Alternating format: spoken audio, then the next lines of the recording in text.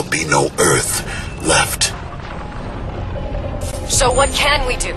Connect to a Ceph mind carrier. If I can get inside their heads, maybe I can reverse the awakening, put them all back to sleep. If there's no Ceph threat, Cell will call off Archangel. You're going to link yourself to the Ceph? Prophet, you struggled to resist their influence even when your mind was protected. We've turned those safeties off now. That means the nanites in your suit are free. That means they can transform into anything, any form imaginable.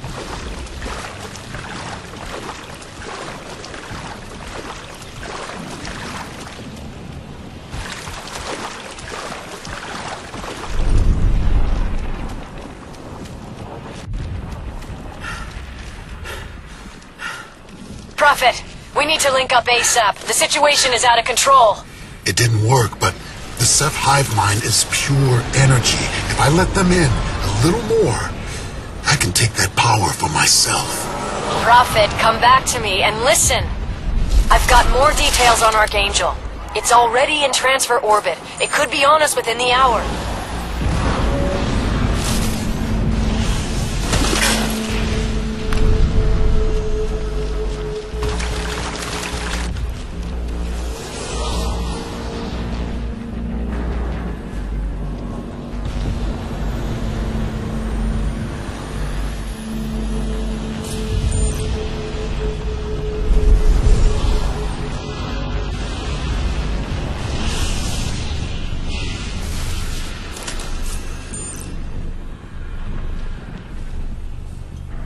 Hang in there. Five minutes, okay? Just five more minutes. Claire? Claire! God damn it.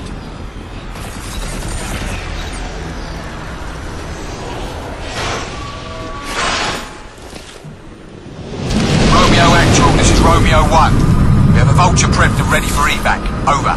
Michael! Romeo Actual, this is Romeo 1. Please observe standard radio protocol on this channel. Over. Whatever you say, Romeo 1. Over.